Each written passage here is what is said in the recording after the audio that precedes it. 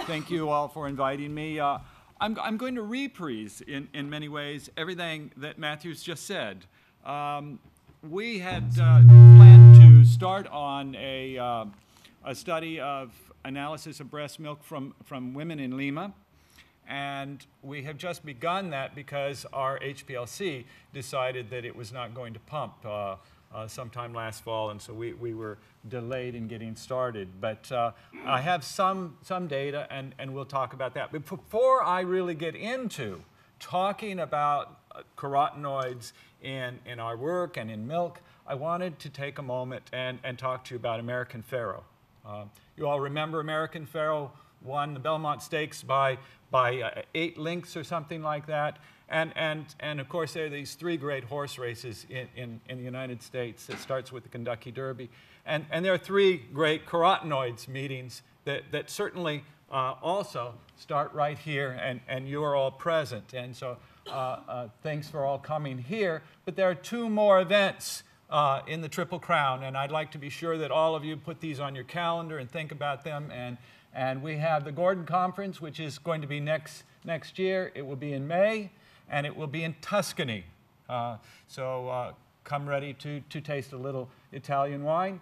And then in 2017, in mid-July, we have the 18th International Symposium on Carotenoids. And as the president of the International Carotenoid Society, I dearly want you all to uh, think about these, put them on your calendar, and, and uh, plan to uh, get together again with us. So that's the triple crown of carotenoids. Um, macular pigment is, is how we all started, certainly how we all started.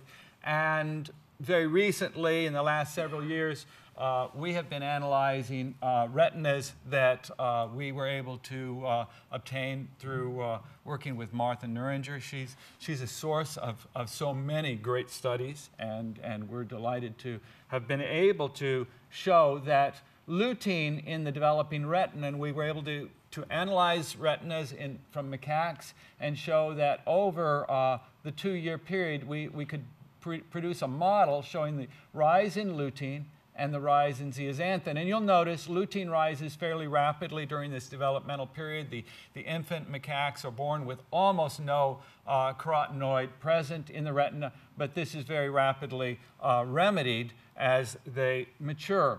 And certainly during the first six months, uh, Martha said two to three.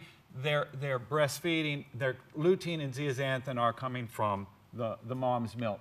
Uh, just to put a little finer touch on that picture, here is the RR zeaxanthin, and our analytical data show that actually the RS zeaxanthin is increasing at a slightly faster rate. That means that lutein is being converted to RS zeaxanthin in the primate retina at a rate that's faster than the absorption of RR zeaxanthin. And that's, that's probably a bioavailability issue in these diets, uh, but it's an interesting fact nonetheless.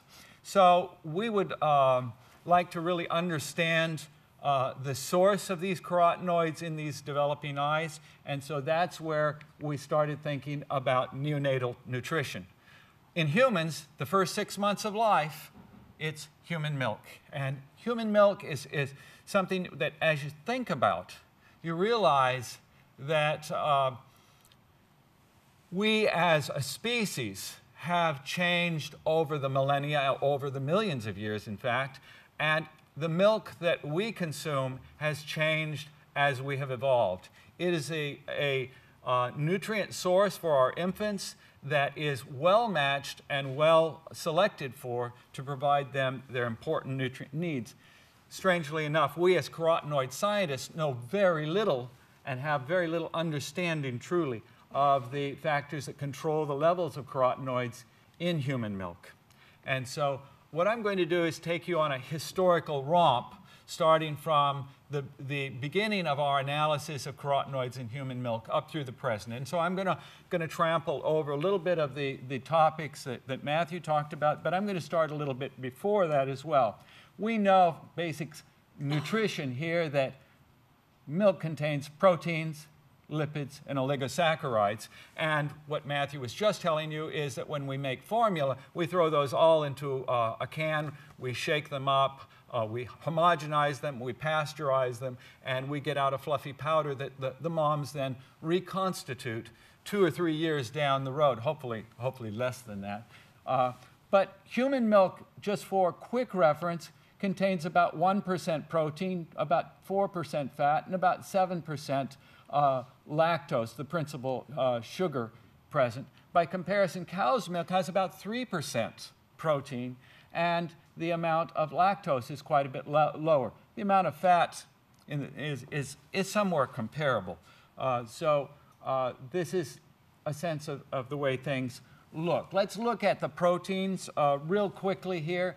Uh, casein's the dominant protein in milk, but in, in human milk, it represents 20 to 45, depending upon the stage of lactation, uh, of the amount, amount of protein in milk. Uh, whereas in cow's milk, for contrast, it's about 80%. So species to species, there's a huge variation in the composition of milk, and, and that's shown here in the proteins. Uh, casein is, of course, that, that component of milk that is, is, is forming large uh, protein micelles. It's, it's centered around or clustered around calcium phosphate, and it precipitates out to make the curds when we make uh, cottage cheese, right? The, the remaining portion, the, the whey, is, is these other proteins. Now, this is a very small list of proteins because there, there are really literally hundreds of proteins present, and, and the analysis and our knowledge of those is very limited. But these, these are certainly the, the big ones that are, are well known. And notice that the uh, uh, albumin here is, is glycosylated as, as as is this one. So glycosylation is a very important factor in proteins in uh, mother's milk. And this glycosylation is important because bacteria, which colonize our guts, and we're hearing a lot about the microbial biome, uh, these, these bacteria have receptors for um, the, the sugars, and by glycosylating the proteins, they bind to many of the, the pathogenic bacteria, preventing them from uh, colonizing on, on the gut wall and, and uh, creating pathogenic conditions. And so this actually favors benevolent bacteria growth within the, uh, within the gut in the early stages of, uh, of uh, the infant's growth. The principal uh, sugar is, of course, lactose, which is a glu glucose galactose uh, disaccharide, but there are really a lot more oligosaccharides in that, some as few as three sugars, uh, others as many as 22 sugars, and all of their functions are not well known. So this is a very complex composition, again, just like the, the proteins that we found. Uh, the lipids in human milk, and I think for us in carotenoids, this is, this is where the action uh, turns out to be. And, and so we heard Matthew mention and, and sort of uh, grimace a little bit about the complexity of, of, the fat, and, and that's because we have these globules. They're surrounded by a phospholipid membrane. The large ones are filled with triglycerides, cholesterol, carotenoids, and, and other rather good things for infants, okay? Uh, these are 5 to, to 10 microns in, in, in diameter and size. But there are also these things that have been recently discovered in the last few years. They're called lactosomes. And, and lactosomes are smaller than one micrometer in size. They aren't filled with these uh, components. They're, they but they have high percentage of unsaturated fats. Now, the questions that are important are how are these different components made and what's in them, what percentage of unsaturated fats, and perhaps that is, is part of the real delivery question that we're so interested in in terms of this. So micronutrients. Of course, the micronutrients can be water soluble or they can be fat soluble. Let's focus on those that are, that are lipophilic. We're, we're, we're going to think about vitamin A, of course, some, some of the others, but, but most important for us, the carotenoids. And so those are likely all in the uh, solubilized in the, in the lipid components. Now, I want to start thinking historically about carotenoids. If you go back in the literature, you'll find reports of, of beta carotene analysis. And, and the people were doing beta carotene analysis back uh, in, in the dark ages, 1979, 76. You know, th- this was the, dim ages of, of carotenoid analysis in breast milk. They were extracting the lipid components, they were redissolving that and putting it in their UV visible spectrometer, measuring the absorption, absorption at 450, and saying, oh, we have beta carotene present in human milk. Or not, because lo and behold, in 1979, samples in the UK weren't showing up much beta carotene, you know. Uh, beta carotene, lutein, any other carotenoids for that matter. And, and we suspect we know why, right? Uh, because, of course, these are dietary and they weren't big components of, of these, these uh, mothers' diets. Um, Swedish moms and Ethiopian moms seem to be doing a little bit better. So we have to think about uh, how the analyses were carried out. And, and so if you look at the literature on human milk and you see beta carotene reported, look at the date of that paper, look at the, the review and see, see where that data came from. If it came pre uh, 1990, uh, there's a very good chance that they were doing uh, UV analysis and they were not discriminating between the carotenoids. They're reporting everything as beta carotene. And clearly we know better now. So be cautious in reading the literature. The first HPLC analyses really didn't happen for human milk until 1990, which is uh, amazing. You know, here, here for, for about a decade and a half, HPLCs had been out there and people were using them, but uh, for human milk, we didn't see reports until 1990. So I'm going to just give you a quick overview of the trends. You also know this from what Matthew was saying, so I, I think it makes uh, sense to, to recap it right here. Breast milk carotenoid concentrations vary greatly among countries, okay? Uh, you know, the patterns of breast milk carotenoids are unique to each country. So not only do the total amounts of carotenoids vary, but, you know, the relative proportion of lutein to zeaxanthin to beta-cryptoxanthin to beta-carotene vary. Uh, and of course, those are dietary factors. Now, milk carotenoid concentrations decrease during the progression of lactation. Colostrum is very rich in lipids and it's very rich in, in, in carotenoids as well. But as uh, mature milk is produced in later weeks, the concentrations of the carotenoids all decreased. Strikingly, the nonpolar carotenoids decrease much more than the polar carotenoids like lutein and zeaxanthin. And that is an interesting story in and of itself. And so that's what we're, we're going to be thinking about. And, and uh, George Lietz uh, published this, this nice paper from which he, he made a nice introduction. And so I, I wanted to reference that at, at this point and, and think about that. So our thought is, how do carotenoids get from mom's serum all the way to the baby's retina? And, you know, this is the, the path it must follow. And here are the concentrations that, that we see as we go along. And I'm going to show you a graph on the next page, but this is in micrograms per deciliter. Um, in in uh, Fred Khachik and Louise Canfield's paper, 1997, uh, they report 17 micrograms per deciliter and 2.1 micrograms per deciliter for lutein and zeaxanthin, respectively. Okay, those are, are very interesting. That ratio is almost 8 to 1 lutein to zeaxanthin. And I noticed in Matthew's paper uh, or work, we, we were just seeing uh, similar kinds of ratios between the, the carotenoids as well.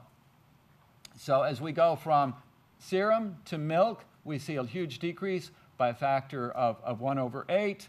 From uh, milk to infant serum, uh, a decrease by a factor of about um, uh, 1 over 3.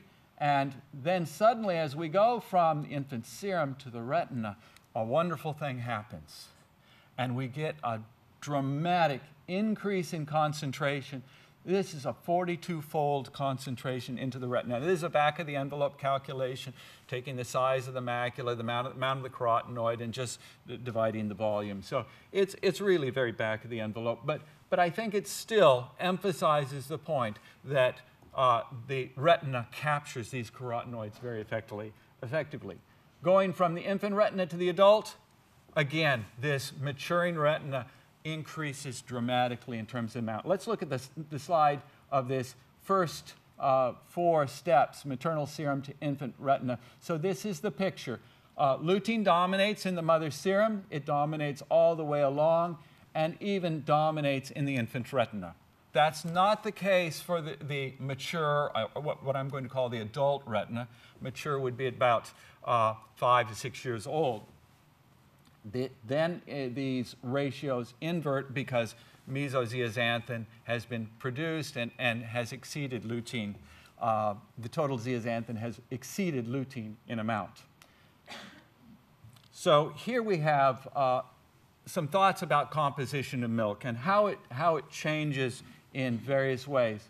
During the weeks of lactation, starting from colostrum, going to mature milk, we see very literally the change in carotenoid levels. The yellow color here is indeed carotenoids, and over a few weeks, that carotenoid concentration drops away, and we don't see as much uh, uh, of the, the carotenoids.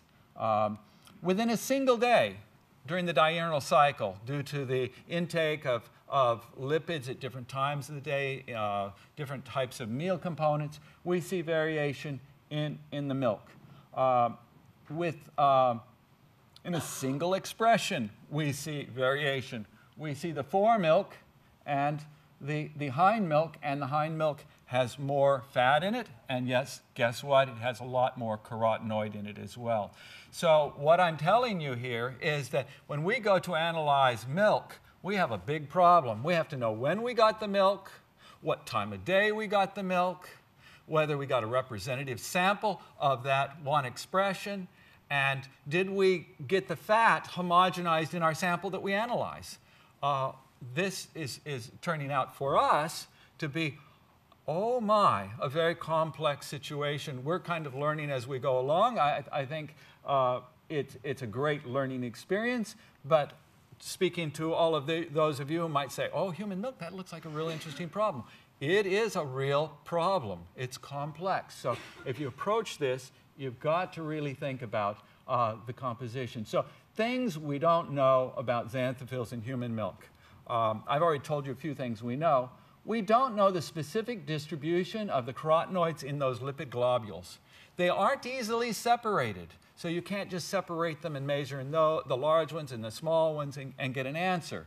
Um, we hope in our study to be able to relate uh, the various lipid uh, components and carotenoid levels, and that's one of the things, the endpoints of our study.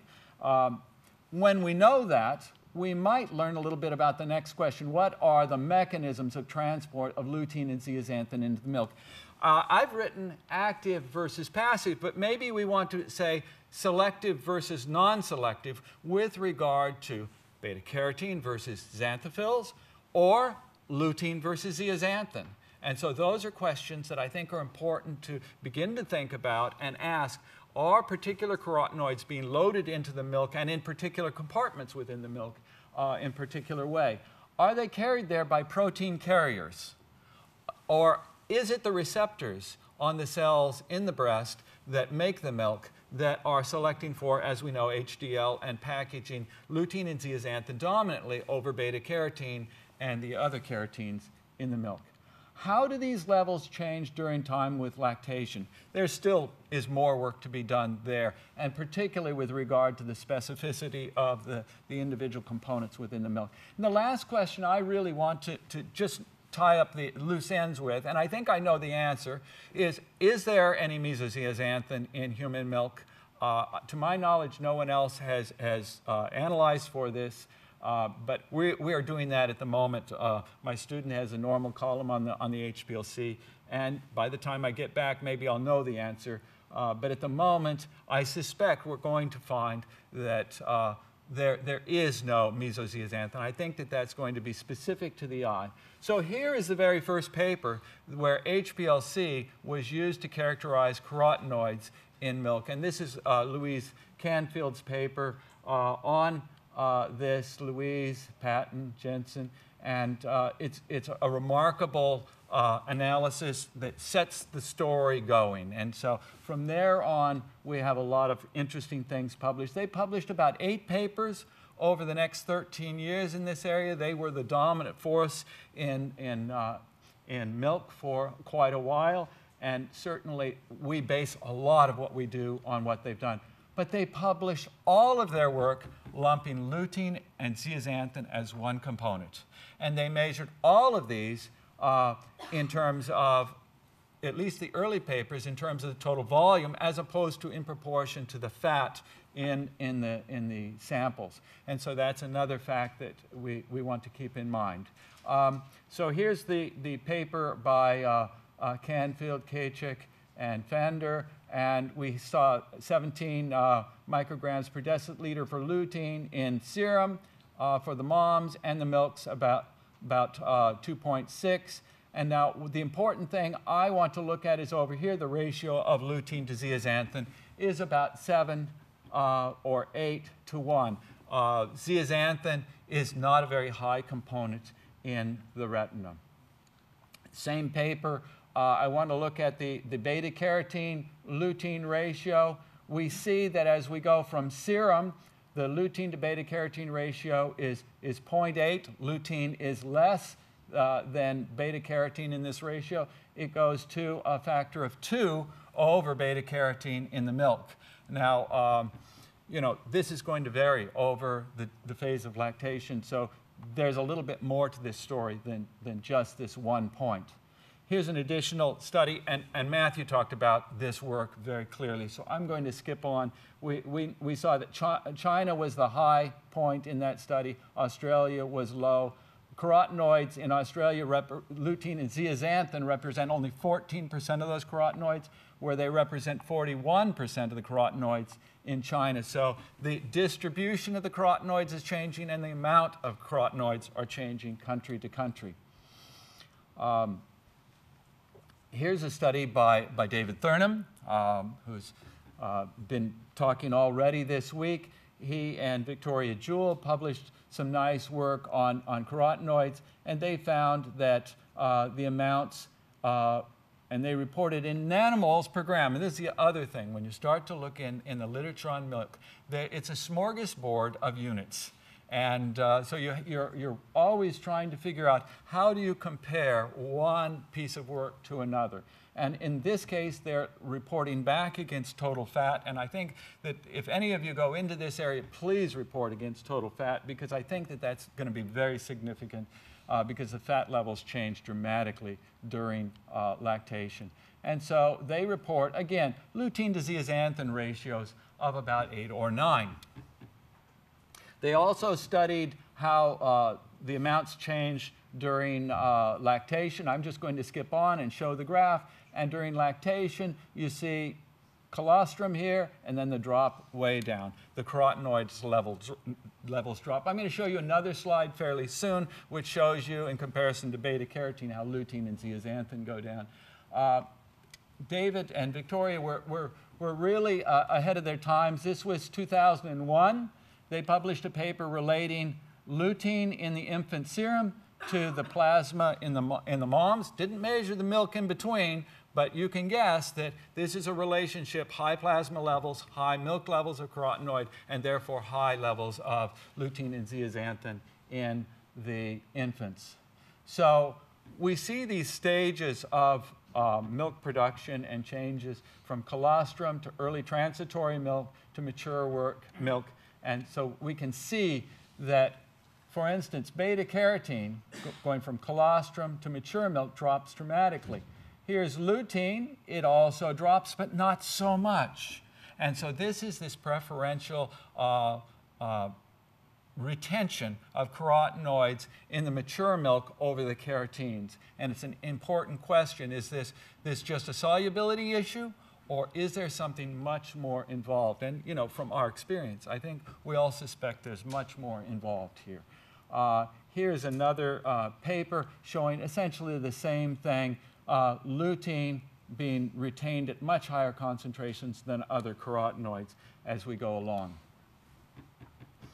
So now let's change the pace a little bit because this is George Lietz paper. He's asking the question, we have a vitamin A deficiency in many parts of the world. If we start feeding moms beta carotene so that the, the vitamin A uh, delivered to the, the babies uh, will increase in the form of provitamin A beta carotene, uh, or, or the vitamin A levels in the mom, will that affect lutein and zeaxanthin? And the answer is wonderfully no. So uh, giving red palm oil rich in beta carotene, we see a big rise in, in the levels of beta carotene, but we see that, that uh, there's no change in the lutein or zeaxanthin. I knew I was going to run over. I'm sorry. I've only got a couple of more slides, and then I'll get to actually uh, some real data. So this is the, the, the, the, top off of, of what we saw a few, few moments ago. Uh, you know, I think Lisa might be familiar with this paper. Uh, you know, the, the, the, the study here shows uh, how the breast milk and uh, maternal plasma are related. And if, if you, you uh, have high maternal plasma, you, you have high breast milk levels. And, and so that's, that's kind of expected, but it's nice to, to be sure. There was a lot more in that paper, I want to tell you. I've taken only just the tidbit I wanted. And we also heard just a few minutes ago, and, and what we look here are plasma levels in the infant, the little dots, versus the intake in terms of formula or milk. And what we see is if we're looking at human milk, we don't have to take in very much to get a very robust response in serum. And that's a very big problem that, that Matthew has, has, has dealt with. And how do you manufacture a formula that does that? So here, here's, I've got really only one slide of, of data, so, so we don't have, have to spend much time. We're looking at 75 women in Lima, uh, Peru. Uh, our collabor collaborators are at the Institute uh, for Investigation of Nutrition in, in Lima, and they've been helping us to this point. We've been looking at uh, the progression of lutein and zeaxanthin levels in milk from week two, week three, and week four. We did not collect colostrum. Uh, these are uh, economically uh, uh, challenged women, single moms, a lot of them, and we feel, felt that the uh, infants needed every bit of the nutrition that they could get from the colostrum, so we did not get that. Here are the results for lutein and zeaxanthin for these three weeks. I would point to the fact that although these are generally decreasing as a trend, there's nothing significant in that. These are essentially all mature milk values the important factor that I was surprised by, and I actually alluded to this because we had some early analyses last year in July before HPLC died, we have really much lower lutein zeaxanthin ratios. A lot more zeaxanthin in these moms, and that was leading us to think that there was something special about zeaxanthin. Uh, but we've looked at their serum now, and the mom's serum is, is about the same. So it appears to us, and, and one of the conclusions that we would draw would be that uh, transport of lutein and zeaxanthin into the milk appears to be principally into the human fat. I'm not, I'm not going to say absolutely because there are proteins out there. They could be water soluble. We're looking at some of them in other organisms. So it's possible that there are water soluble uh, proteins involved as well. Uh, it occurs through a mechanism that maintains the concentration of the polar carotenoids in preference to uh, the non-polar carotenoids. Uh, lutein and zeaxanthin appear to be transported into milk in proportions to the serum levels. And I think that's uh, something that's coming out and, and we're all interested in. And so I really want to uh, acknowledge uh, the help of my students and uh, colleagues. Uh, Vanessa Mendez is doing the analysis. Ramon Gomez is going to do the statistics for us. And of course, we've had some financial support along the way. And I apologize for speaking for so long.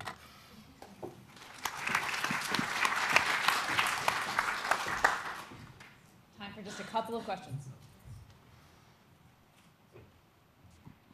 Um, how is the carotenoids and beta carotene absorbed uh, in, uh, from the gut, from the serum, into, into the eye? I mean, there, there's a definitely transition point where uh, early you, you, you absorb beta carotene earlier, but the serum levels of beta carotene will be probably stable. Why does it decline? And you know, in terms of the later milk versus the, the, the early milk, I mean, what's the mechanism? Is it an active transport? I know you, you mentioned HDL receptor and that's how it, you know, that, that's a So- postulation. But is so- there enzymes? Are there proteins? Wh- What's the transport mechanism? There are enzymes and proteins, yes. Um, What are they? uh, LDL, HDL, the, the primary lipid transporters, and where lutein and zeaxanthin and the other carotenes are, are, are, housed. As we heard earlier, about 65% of the lutein and zeaxanthin is in, is in the HDL. Uh, about 35% is in the LDL. Uh, that is not mirrored by the carotenes, which tend to uh, be distributed more in the LDL. Now, so, so, so, you know, fractionating and looking at these various lipid uh, uh, proteins is, is something that, by and large, when we measure serum le- levels, we don't do. It's hard. And so it's something that I think, uh, as studies go on, we need to do. But it's a level of sophistication that's expensive and, and time consuming. So to get to the answers, I think is going to require a lot of very detailed work. Neil back in the corner. I know you've got a question. John, I don't know if Matt's still here, but I, oh, thank you. Um, I, I don't, oh, okay, Matt is still here. I, I think that a number of the infant formula companies probably have a lot of information related to some of the, the questions that you're looking at, but it may not be in the published literature. Yes. Um, and Maybe, I- I- maybe, maybe Matt would like to even, even Yeah. comment on it, because I've looked for, for this breakdown of, of the various important unsaturated fats, and I don't find uh, anything that's really wonderful to, to help us in, understand that. Yeah, but I do know some of the things related to, say, lutein zeaxanthin distribution. Um, there's work that's been done, some normalization based upon lipid content, uh, and I'm, I'm going to guess that they probably have a lot more info on that than, than what we see in the, in the published literature. Right, right. Yeah, I think I can s- simply say that the, um, the egg, I think, gives some clues. And also the um, posters, the one, the po- poster that Maria presented on phos- phospholipids gives other clues. Mm -hmm, mm -hmm, mm -hmm. I probably shouldn't say more than that. Yeah, yeah, yeah. There might be some proprietary interests involved.